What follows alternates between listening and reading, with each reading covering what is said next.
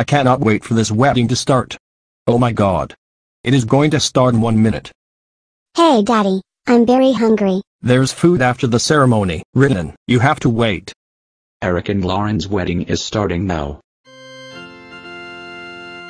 We are gathered here today to celebrate the Lord our God for this union of Eric and Lauren. So today is Sonic Day 2015. Today is Eric and Lauren's marriage.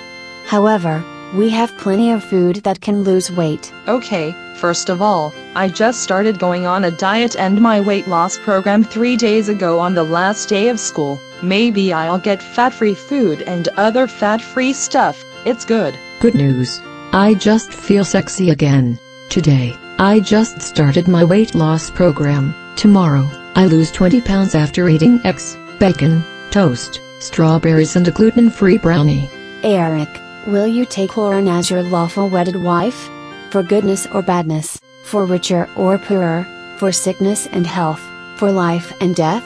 For you shall live? Equestrian number 40, copy. And you, Lauren, take Eric as your lawful wedded husband? For richer or poorer? For life and death? For sickness and health? And you will shall live? That certainly applies to me. I may now pronounce you, male equestrian number 40 trooper and female Freddy's night guard. You may kiss the bride. Wow. Those people really look good.